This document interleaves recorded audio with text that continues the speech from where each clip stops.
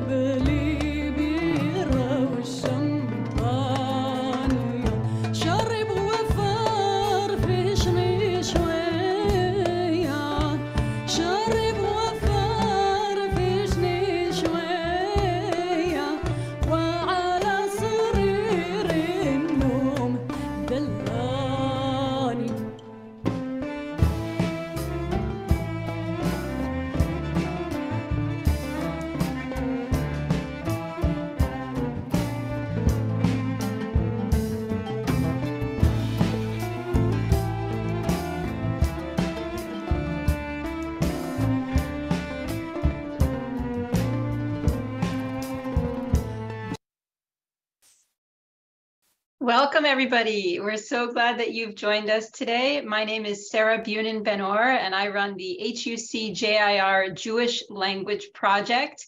And today we are honored to have with us uh, Rena Lauer to speak about Jewish women's wills in the pre-modern Mediterranean. And this event is sponsored by the HUC JIR Jewish Language Project and a grant from HUCJIR in honor of the 50th anniversary of Rabbi Sally Priesand's ordination.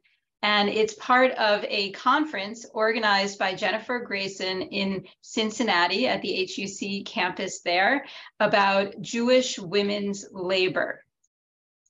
So let me introduce our speaker today. Rena Lauer is Associate Professor of Medieval History and Religious Studies at Oregon State University. She got her PhD at Harvard in 2014. She writes about the intersection of gender, law, and religion. Her book came out in 2019, Colonial Justice and the Jews of Venetian Crete. In 2021, she started the website jewishwomenswills.org, and that's what we've asked her to speak about today. So she's going to speak for about 12 minutes or so about Jewish women's wills, and then I will uh, interview her, lead a, a conversation about the specifically the language in the women's wills, and then we'll open it up for audience Q&A. If at any time you have a question, feel free to click the little Q&A button at the bottom of your screen and you can add, ask your question there. And uh, we hope you enjoy. Rena, take it away. Thank you so much. Uh, welcome, everyone. Welcome to my home office. You're joining me in Corvallis, Oregon.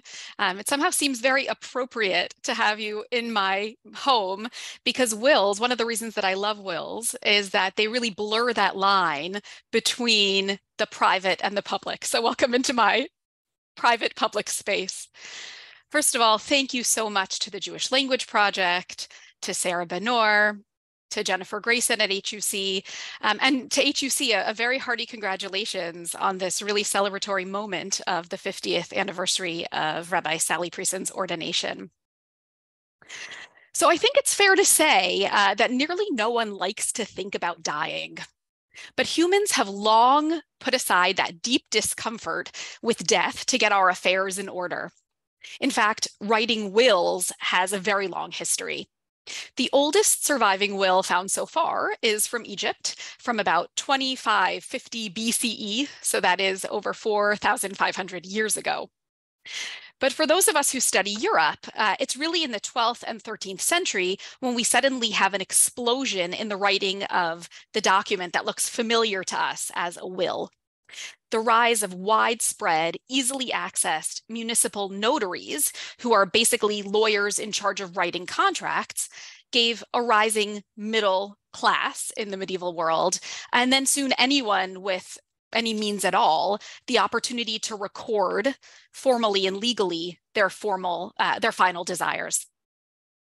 So from the very early days of this explosive will writing phenomenon jews got in on the act in fact jewish will writers can actually be found even earlier before the year 1000 ce in the muslim world in europe we have surviving jewish wills certainly from the 13th century onward and perhaps most exciting for those of us who study Jewish women, many Jewish women, many Jewish will writers in the Middle Ages were indeed women. We tend to think that pre modern women wrote so little that we could hardly hear them. And it's certainly true that when it comes to medieval Jewish documentation, prescriptive, elite male sources dominate the field we might think of Gluckel of Hamelin's late 17th century memoir as one of the very rare cadre of intentional female writing. So, wills actually provide us with something remarkable access to women's choices, women's agency for hundreds of years before we might expect to be able to read women's words. I first came across Jewish women's wills when I was doing research for my first book about the Jews of Crete. Crete's Jews went to local Catholic notaries in droves for every kind of contract you can imagine to sell wheat, wine, cheese, to rent houses, to betroth their children, and indeed to leave wills. The wills were striking for a number of reasons, including the fact that there were far more wills written for female Jewish testators. That's what we call a person who leaves a will, a testator. Uh, so there were far more wills written for female Jewish testators than for Jewish male testators. So after my first book came out and COVID struck, I began collecting Jewish women's wills from wherever I could find them. I chose 1650 as an end date, since it seemed to me that after about 1650, the number of Jewish women's wills really exploded.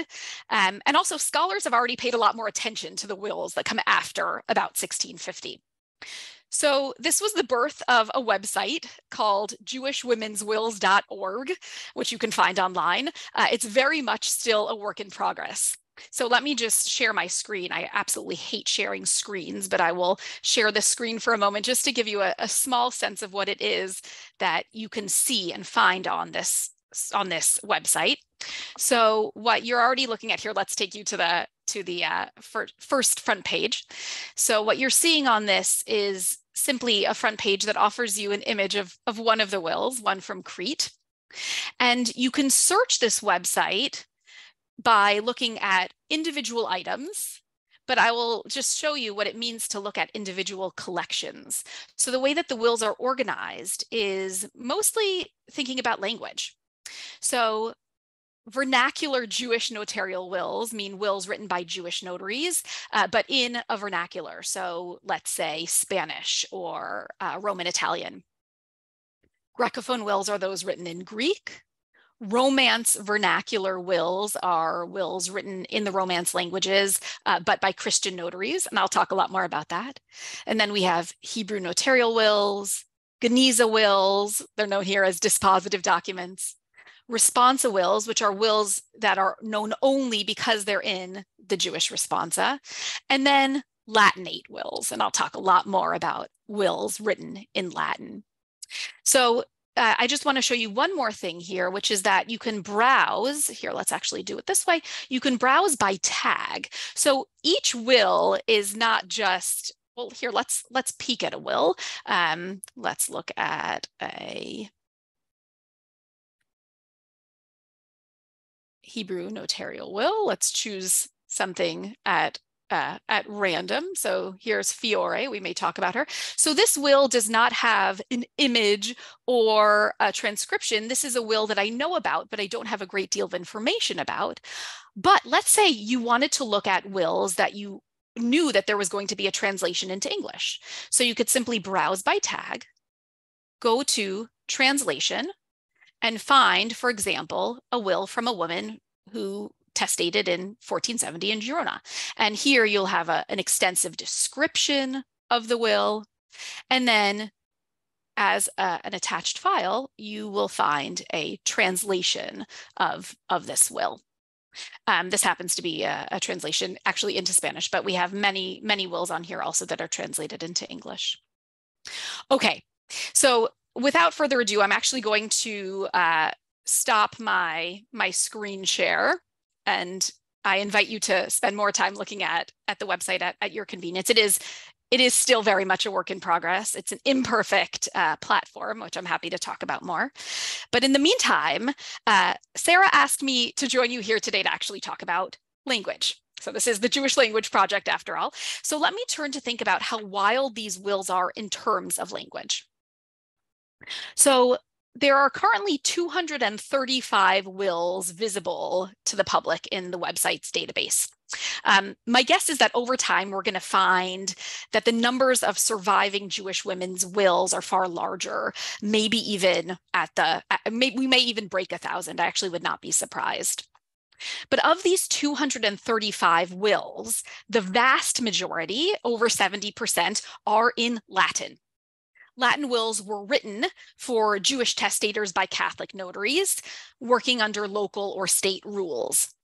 And the Latin wills uh, that we found so far have come from a variety of spots, mostly from across Western Europe. So from Italy, Sicily, Southern France, Spain, and Venetian Crete. As we move to the later period, some Christian notaries began to write in the local vernaculars, including Spanish, Portuguese, and Venetian. And then in the Greek speaking East, some Jews went to Christian Greek notaries, writing in that language. But not all Jews went to Christian notaries. In fact, you may be wondering why Jews went to Christian notaries at all. Weren't Jewish notaries and rabbis a better choice? Aren't non-Jewish wills halachically problematic. So of course, I'm, I'm happy to talk about that in the Q&A, but I will say that late medieval and early modern rabbis were increasingly comfortable with non-Jewish wills. Nevertheless, uh, the fact that we don't have a lot of pre-modern Jewish made wills surviving is actually in large part an issue of survival destruction of Jewish communities often came with the destruction of Jewish documents, whereas surviving Latin wills were generally preserved in safeguarded state archives, which is actually where we find them today. And in fact, when we have Jewish made wills, those are really an accident of survival. So some survive in the Cairo Geniza. Uh, I know of 18 Jewish women's wills from the Cairo Geniza in the period before 1650. Um, and at least one Jewish women's, women, woman's will uh, in Hebrew from Spain survives because it was reused as scrap paper to bind a non-Jewish book and then was found by scholars in that format. We have a much more robust set of wills from Jewish notaries in Rome, which survive because they were saved in the Roman Capitoline archives, so state archives. And although these were Jewish notarial documents, they were approved of and essentially licensed by the by, by Rome, uh, which blurred the lines between the Jewish document and the secular one. So these Roman Jewish wills are particularly interesting from a language perspective as well. We'd expect them to be in Hebrew, and indeed, for much of the 16th century, this is true. But starting in the 17th century, a number of Jewish notaries began to write in Roman Italian. So Jewish notaries by 1600 thought of the Roman vernacular, this kind of Roman Italian, as a legitimate language for official Jewish documents, even as they carefully followed the strictures of Jewish law alongside the formulae that kept these wills valid for the state as well. Of course, what this all means is that there were many more Jewish notarial wills, uh, whether in Hebrew or in the local vernacular, that have not survived. So, to be a historian of these documents means we have to be extremely sensitive to the fact that any statistics we try to use about numbers of surviving wills and their language breakdown, for example, that correlates to survival, not to production. Okay, because I promised Sarah that I would keep my opening uh, my opening words brief, let me turn to one very short case study about language and wills. So the main premise of my analysis of wills, um, and as I described it earlier, is that it's a kind of document that actually lets you hear a woman's voice. This is actually a problematic statement that I've just made. Although wills often present themselves as being in the first person, and often they begin something like, I, Perna, very ill, but sound of mind, called in a notary. In reality, there's a great deal of boilerplate and formulae. Uh, the notary had an enormous impact on the structure and perhaps even the content of the will. Likewise, a woman likely had family and social pressure on her when deciding what to include in a will. Nevertheless, I argue that we can actually discern real and significant female agency in the will. So, uh, as I sometimes say, even if we can't directly hear her voice, we can certainly hear her choice. I know it's a imperfect rhyme, but meaning we're hearing agency and choice, even if what we're hearing only purports to be the actual voice of the testator. So let me offer um, a very small language related piece of evidence for this claim, one that involves some interesting and unexpected code switching. In general, a will appears in a single language. But we have some unique cases in which the change, a change of language mid-will uh, seems to hint that we're no longer hearing boilerplate, um, which is often written in the high official language, and that we've moved closer to the voice of the testator, um, which is usually written in a vernacular. So at least in one case, this is very explicit.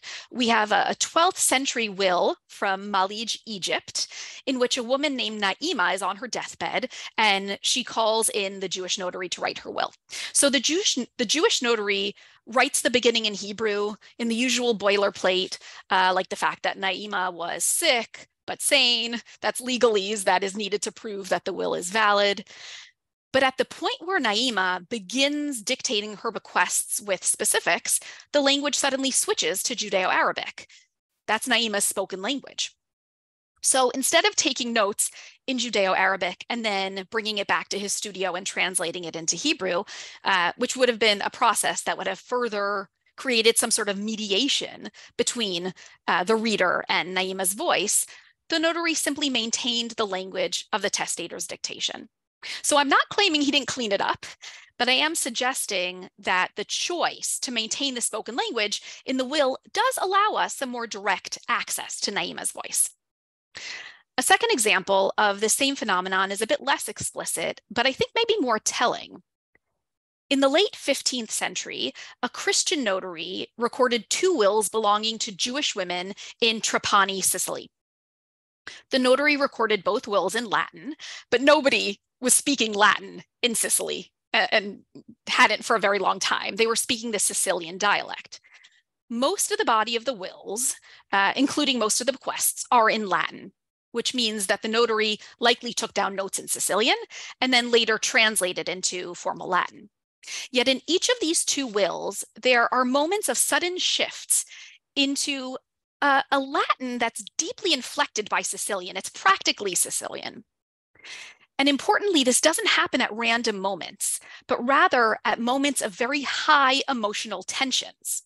So both wills, which are both actually from early in 1486, suddenly turn to Sicilian when considering who should replace the testator's young daughters as the universal heir in the case that the girls die young, which is a very heartbreaking thought. And then in one of the wills, written for a Jewish woman named Stera, another clause also suddenly turns to Sicilian. Stera was married uh, to a living husband when she testated in 1486, and she seems to have had serious concerns for her husband's mental state. She left instructions for the will uh, for what should happen to her daughter should her husband not be of sane mind. And the section dealing with these details, where the girl should live, how she should be financially supported, is suddenly heavily, heavily inflected with local Sicilian vocabulary, syntax, and even a phonetic spelling. So again, I'm not arguing that we're suddenly hearing a direct voice from the testator. And I have no doubt that the notary mediated and polished what he what he wrote even in, in the Sicilian. But it certainly seems like we're getting much more of the testator's direct dictation here. And the notary's choice to record in the vernacular certainly seems to symbolize that shift.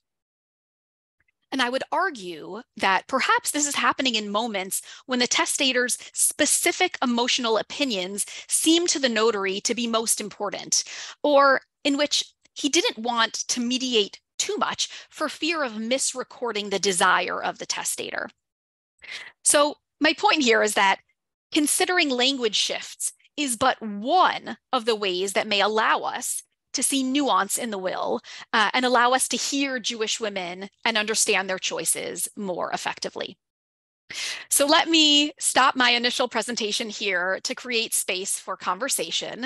Uh, I'm just going to conclude this portion by saying I'm thrilled to be discussing jewishwomenswills.org uh, with this audience and particularly with the Jewish Language Project, because I think that thinking about language is an extremely important tool to think about how Jewish women approached making wills and dying, uh, which actually tells us a great deal about the worlds in which the women lived. Finally, it's a good reminder that to be a Jewish language, a language simply needs to be one that Jews were more comfortable utilizing in their everyday lives. So thank you, and I'm very happy to, to answer questions. Thank you so much, Rena. This was great. We learned so much, and uh, I'm sure we'll all learn a lot from the conversation we're about to have.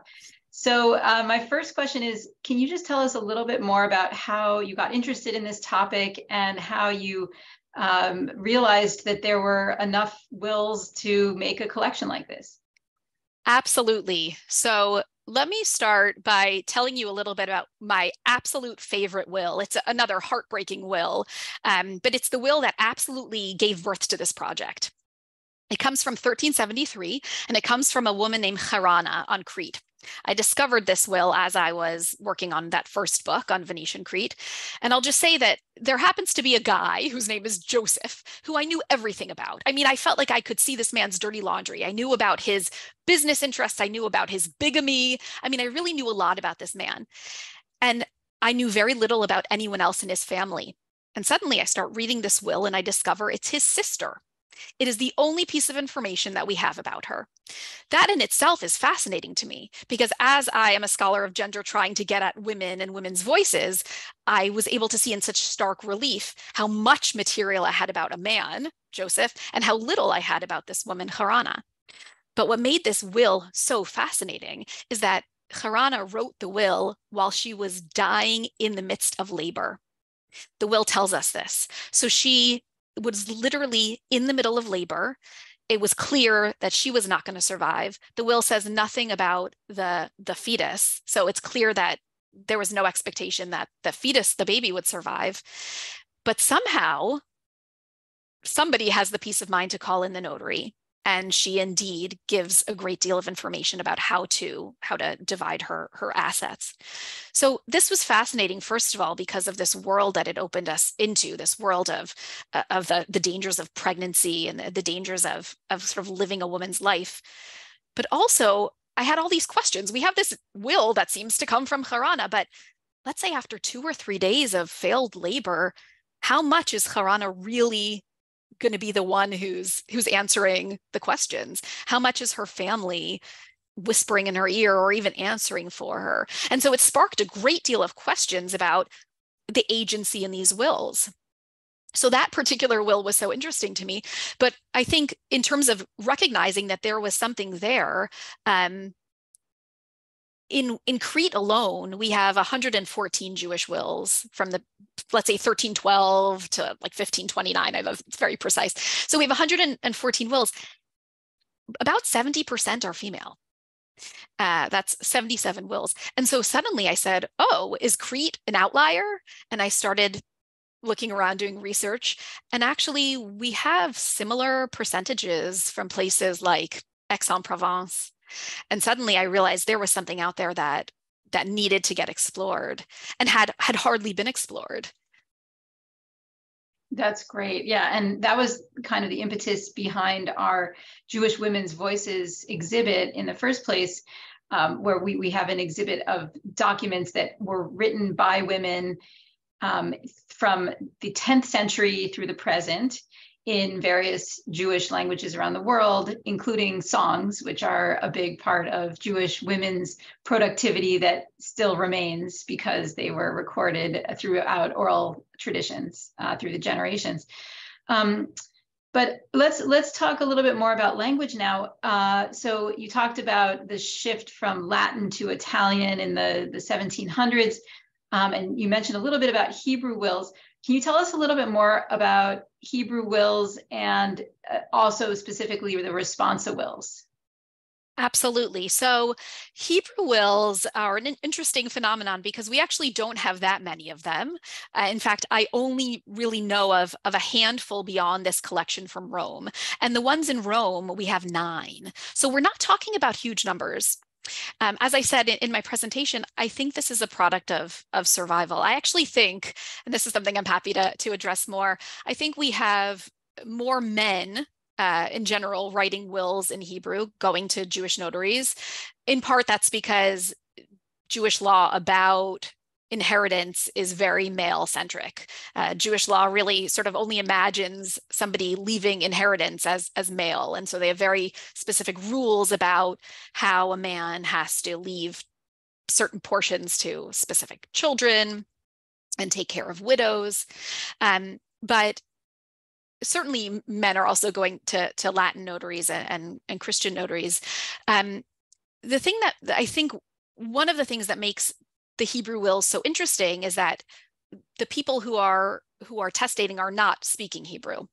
So even the Hebrew wills sometimes give us a hint of the kind of vernacular kind of uh, conversation that underpins the will. The will is this is this document that flattens everything to some extent. You know, there's all this conversation happening in order to produce the will, uh, and and conversation that's happening probably in families and then on the deathbed and then probably when the notary goes back to his studio and does his polishing and then comes back to the family and says, Is this what you heard? So there are all these layers.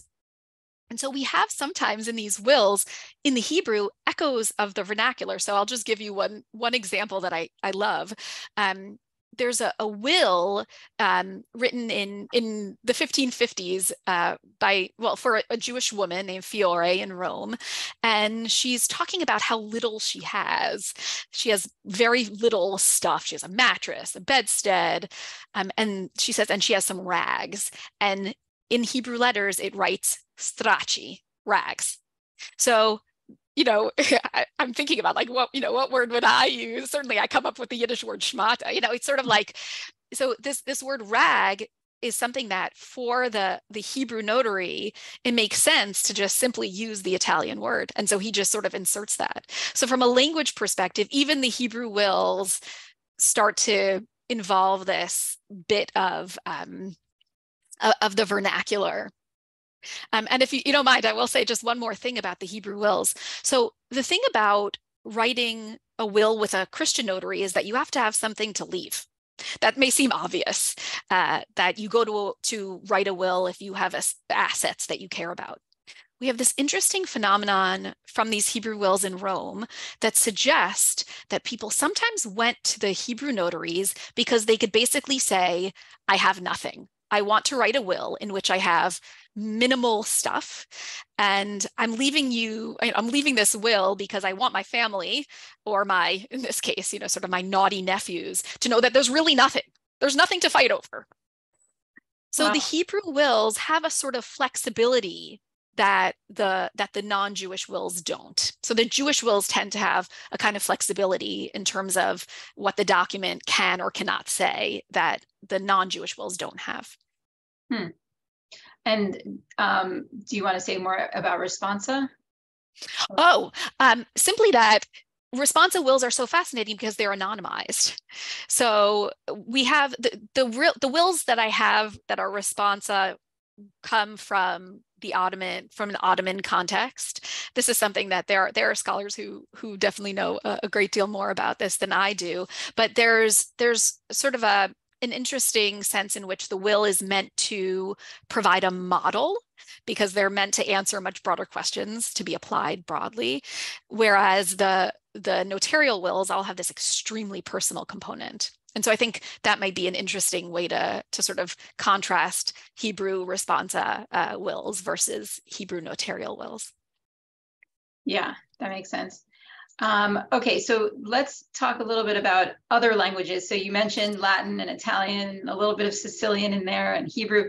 Were there, oh, and you did mention Hebrew and Judeo Arabic.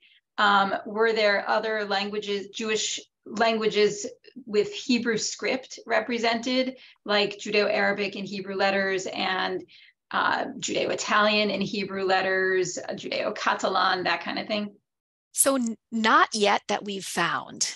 This is really uh, a tragedy of survival there is no doubt in my mind that wills were written in all of these languages and maybe we will find it so one of the one of the wills i mentioned to you was found in the the so-called girona geniza which is basically jewish documents that were found because they were reused as scrap paper often as as bindings of books and Otherwise, we have very few Hebrew documents from Girona. So certainly Spain is a, it probably doesn't surprise us knowing what we know about the first sort of set of massacres of Jews in 1391 and the expulsion of Jews from Spain in 1492 that when Jews are, are kicked out, often their, their documents are destroyed too. And I'll just mention that one of the reasons that that's true is that alongside wills are other notarial documents like debts. And so if Jews had been giving credit to Christians who were then involved in in massacres and attacks, they one of the things that often happens is that when when attackers would come in we know this from places like york england even they would come in and people would be killed and then they would intentionally destroy and burn these chests uh, which is where people kept their notarial documents.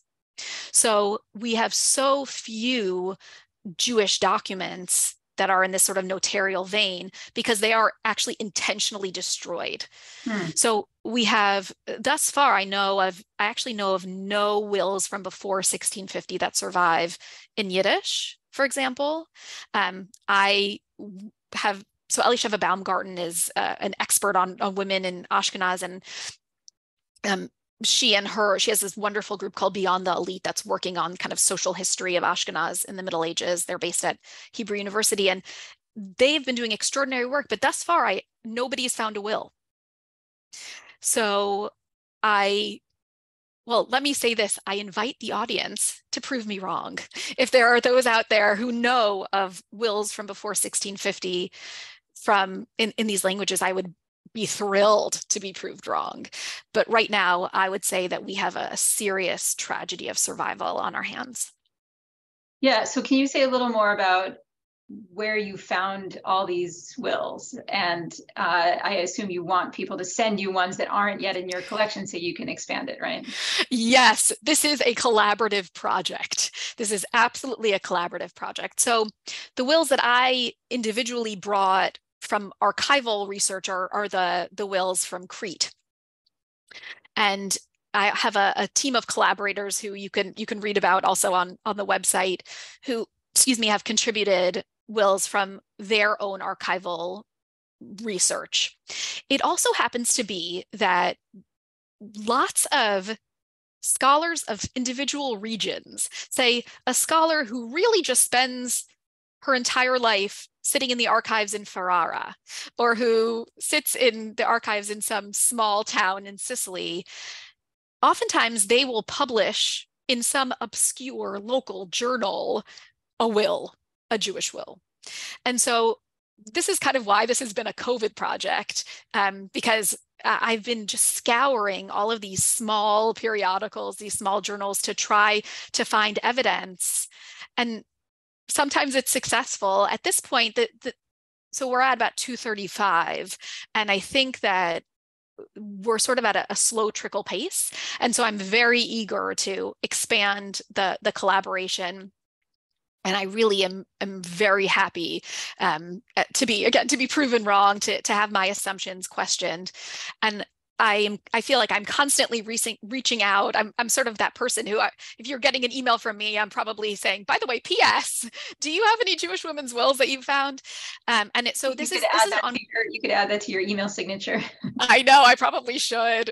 Um, that would be really funny, actually.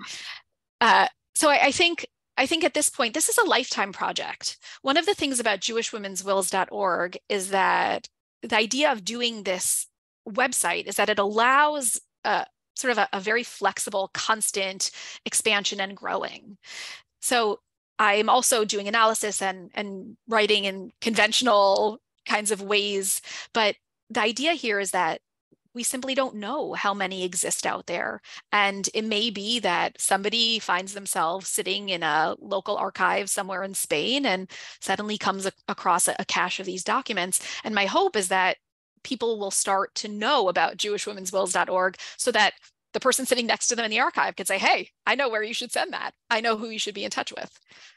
Yeah, that's great. And we do have some people attending today who do research on related topics. So perhaps they'll be able to send you some additional wills. Um, and then, uh, so based on what you've already collected so far, what would you say is the geographic distribution? Um, you probably have more concentration in Italy and Crete because that's where your research is focused. And you mentioned um, people doing research and publishing in local journals in Italy. What about other countries? How many wills do you have from various places? So this is definitely a Mediterranean phenomenon so far. I would say that we have a good a good number of wills coming from across the Mediterranean. Um, you're right that there is a bit of a, a skew towards the Italianate sphere, including Crete. I'm I'm curious though if this might be actually not simply my my own bias. I think that this is a, a very common Italian Jewish phenomenon of, of people, Jews, Jewish women writing wills. Um, we also have a number, quite a number from Spain. So this is interesting. Um, Jews writing wills with Latin notaries or later vernacular notaries. Um, and those are in state archives. And so that survives. I would not be surprised if there were many more Spanish wills. I I don't know what's going to happen with Cairo Geniza wills, you know, whether we're going to find more. Certainly the, the Cairo Geniza is this big puzzle and people are constantly finding new new fragments to put together. So we may we may find more from from the Muslim world, from Egypt, from Fustat and Cairo and, and the hinterland. So there's there's a lot more to, to do. I will say that I have a very capacious definition of Jewish in the context of Jewish women's wills, which means that um, with, with the guidance of some of my collaborators, the wills include conversa women. So we have women currently uh, who testated in Portugal, for example, who identify as conversa, as new Christians.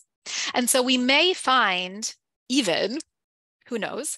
Uh, we may find New World wills that kind of fit into this category. Those are not, we don't have those yet, but that would absolutely fit into the purview of jewishwomenswills.org. Yeah.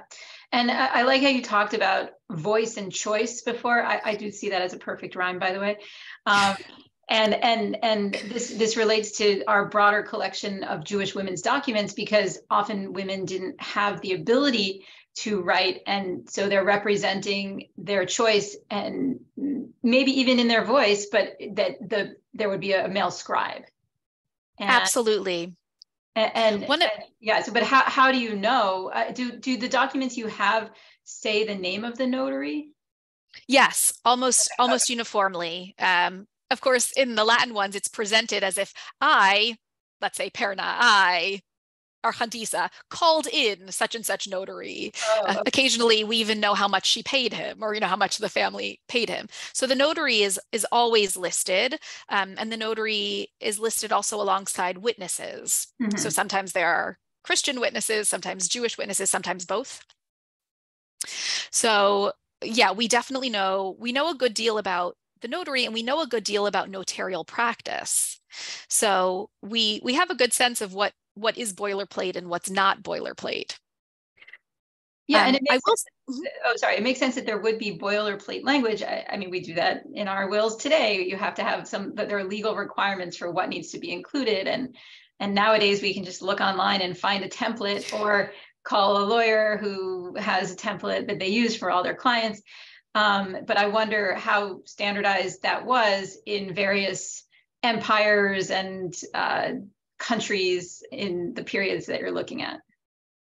sometimes, so this is a wonderful question. Sometimes the boilerplate after you've read a couple of them becomes obvious. So the fact that everybody needs to say, I'm sick, but I'm still sane.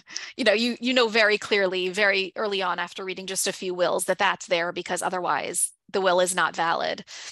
After reading a few wills, you also know that everyone is going to say in some form or fashion, usually even in Hebrew wills, because no one knows when they're going to die, but no one wants to die without their affairs in order. I got my stuff together and I'm, you know, I'm calling in the, the notary. So there's a lot of this boilerplate that you even start to suspect the notary probably wrote before he even showed up at the house. Mm, But there, excuse me, there's all of these, there are all of these pieces of boilerplate that you don't necessarily know if it's just the notary's tick that particular notary's tick or if it's something personal. So there are some notaries who will call every wife a dear wife or every husband a beloved husband. And so at the first time you read it you think, "Oh, maybe there's something there's something very personal here. Maybe it is that this this this couple had a particularly sweet relationship." And then you read 4 or 5 by the same notary and you're going, "Oh, that guy just always calls the wife dear and the, the husband beloved. yeah. Yeah. And also, So that's oh, sorry, go ahead. no, I, I was going to say that's a challenge, but we have other ways of assessing the fact that these are really the individual woman's strategies. Yeah. Like what? So um, one of them is the kinds of conditions that they put on some of their heirs. So, for example, um, well, here, I'll give you a, a funny one. So, uh, one of the Hebrew wills, uh, a woman doesn't have any children. So, she actually pays her neighbor's son to say Kaddish for her. And she leaves him some money. Um, and she says, you know, I, I leave this amount of money for, for saying Kaddish, but only if he says it. So you get the sense this is not a this is not a boilerplate. This is not a typical statement. So you get the sense that there's some you know there's some there's some question and some anxiety that she has you sort of actually feel that she cares about this and that she's adding a condition to make sure that he really does say kaddish for her or in other ones where uh, Jewish women, this actually is very common in, in Spain, such as in Zaragoza, Spain. Uh, Jewish women have children who are Jewish and children who are Christian.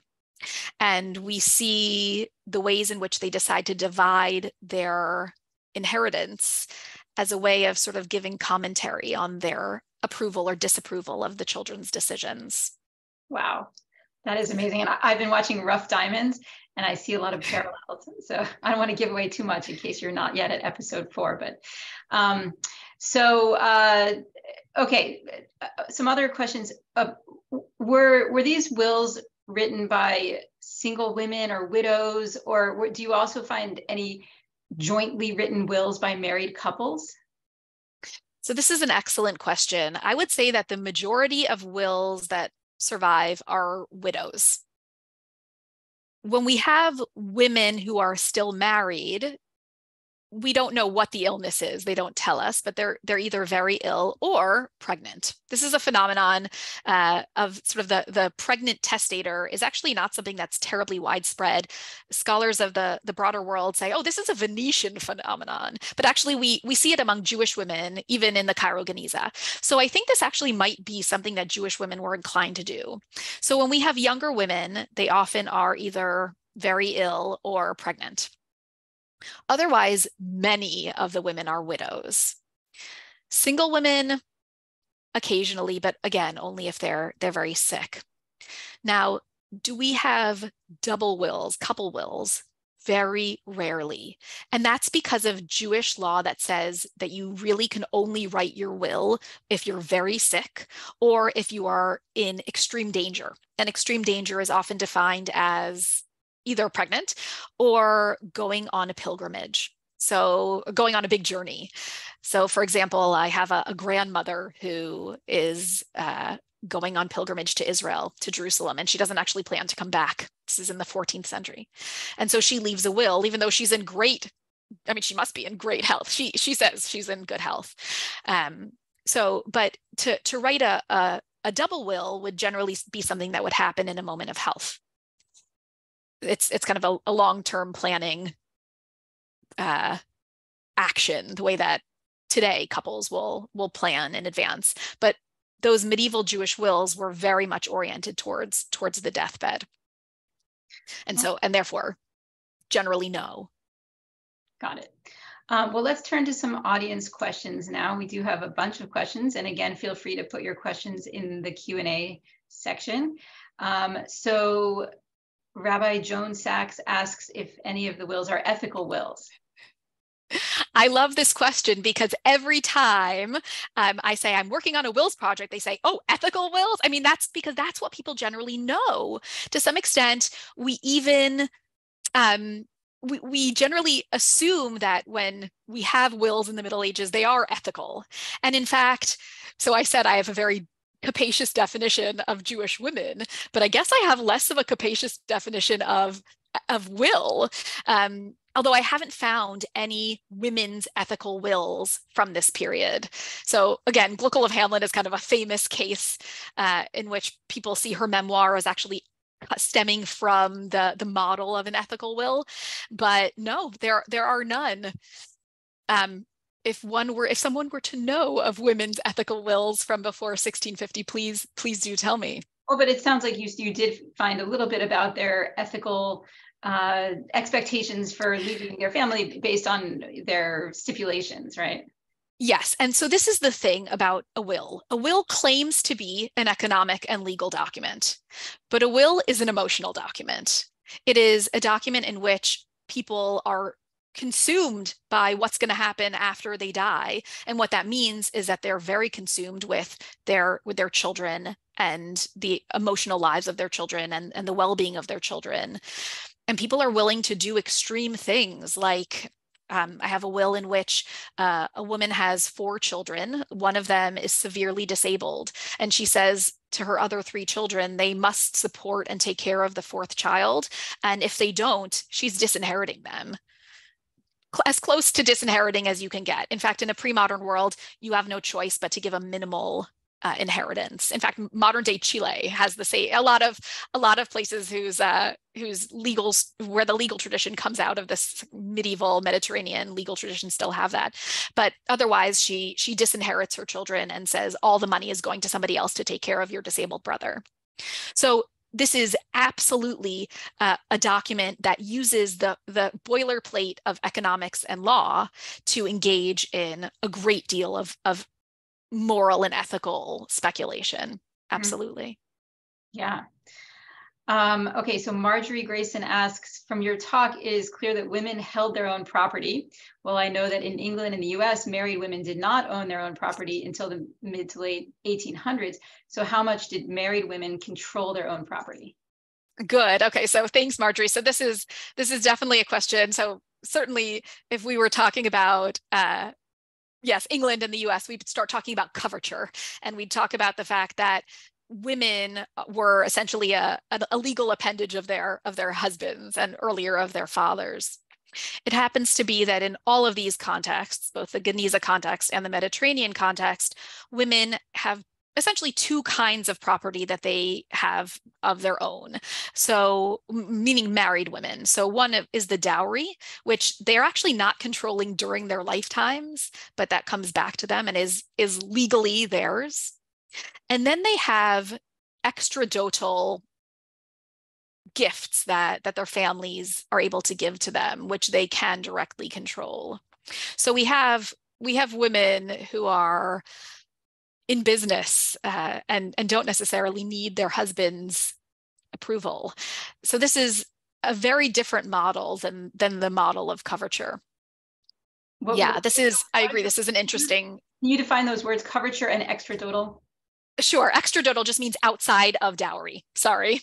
Oh, okay. So meaning they're they're generally like two kinds of things that a woman brings into a marriage: stuff that counts as dowry and stuff that counts not as dowry. Okay. The stuff that counts as dowry, her husband has control of during the marriage, even though it's technically hers. The stuff that's not considered part of the dowry, she actually has some more direct control over. Mhm. And then coverture is this legal principle that really did actually obtain even some places in the US until, God, the 1970s in some state laws, that essentially a, a woman eh, has no independent legal person personality outside of her husband. It's also kind of the, the premise upon which the you know the idea that women shouldn't vote is based on. You know, that that statement that uh, you know when a woman votes, it's just two votes for her husband meaning she's just giving her husband a second vote. So it's it's that it's that legal premise, but that that is not um, the product of the kind of Roman law tradition that inflected Mediterranean law. Okay. Um, so Ruvain Firestone says, um, thank you for the fascinating presentation. I'm interested in deepening our understanding of the volition and success of women engaged in inheritance details. I was under the impression that this was virtually a male monopoly. Would love to learn more. Um, you may have addressed that to some extent, but maybe can you also talk about that in terms of uh, different religious communities? Like if you come across um, Christian and, and Islamic um, wills written by women and men and Jewish in, in these periods that you're looking at. Yes. So let me let me address this in in a way of thinking about the question of success. So um, thank you, Ruvain, for this for the question. Um, one of the things that seems to happen, and I'm not sure if this, I'm not sure if I'm going to directly answer your question. So if, if you want to follow up, definitely please do. Um, but one of the issues with wills is that we get this snapshot of what somebody wants and we have no idea what happens afterwards. Um, and so one of the things that makes Jewish women different than say Christian women in particular is that women have the choice to write a will in more than one forum. So a Christian woman has no choice essentially but to go to a Christian notary.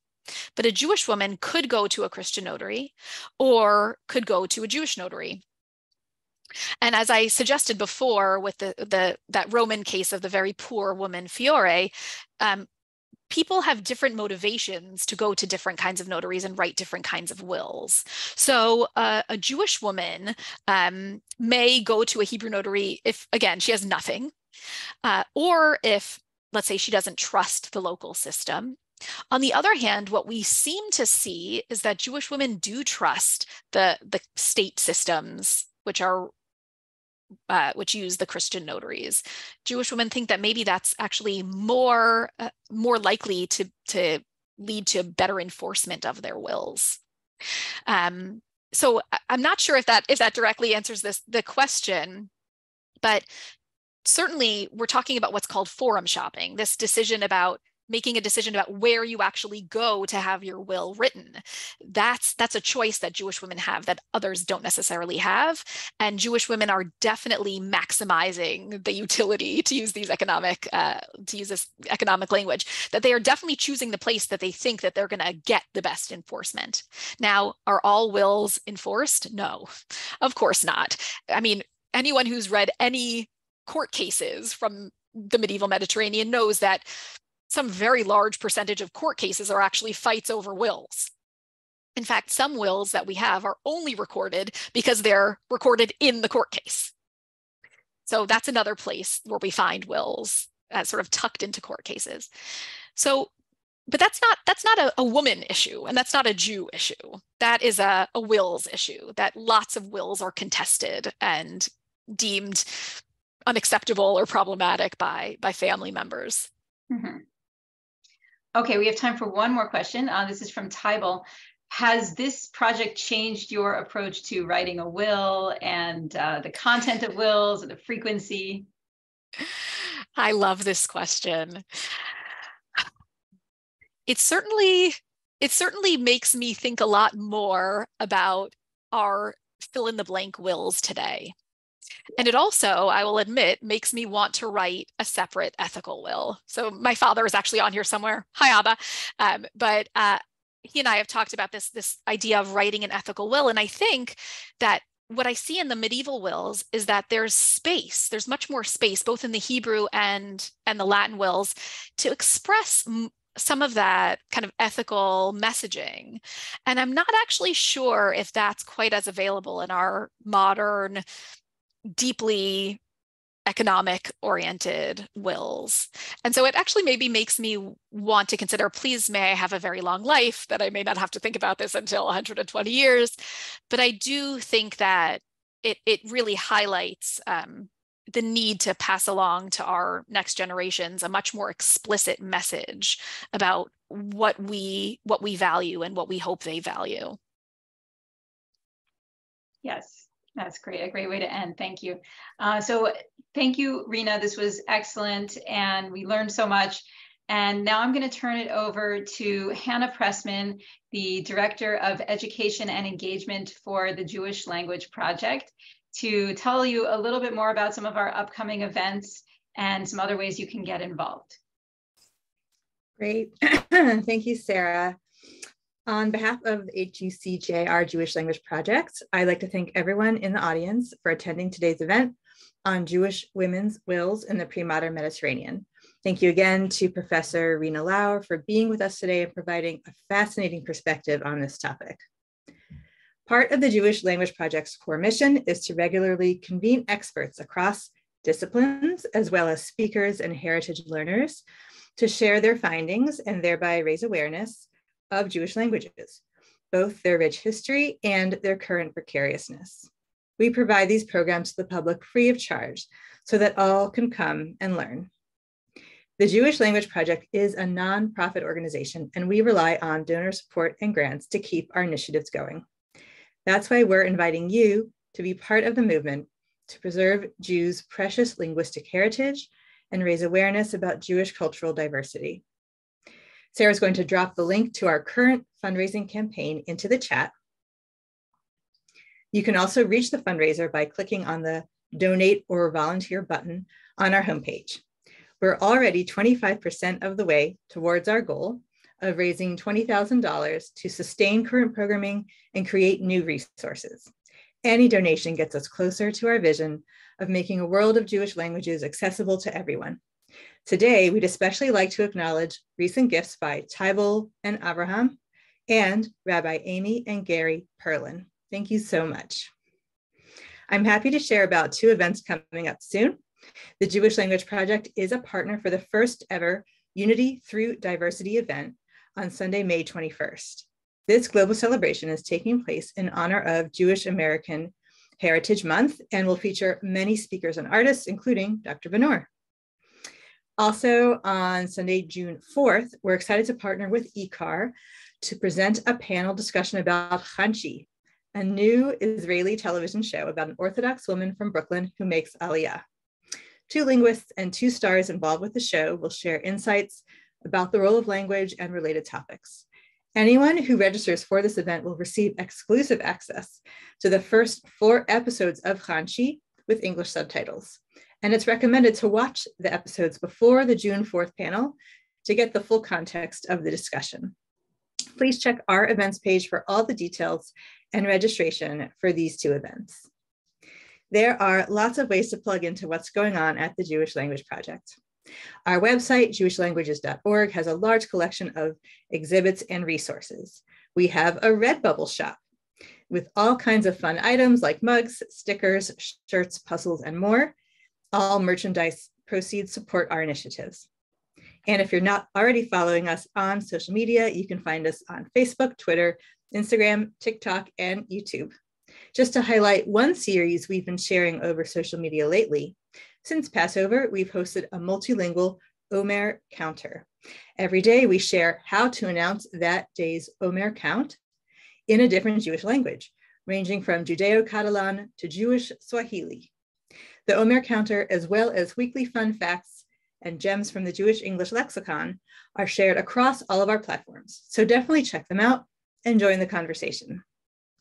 The very best way to keep up with all of our activities is to subscribe to our email list for occasional updates about events, programming, and research. Here at the Jewish Language Project, we believe that there is a world of history in every Jewish language, and each speaker has something to teach us. Thank you again for joining us for today's program. Take care, and we hope to see you soon.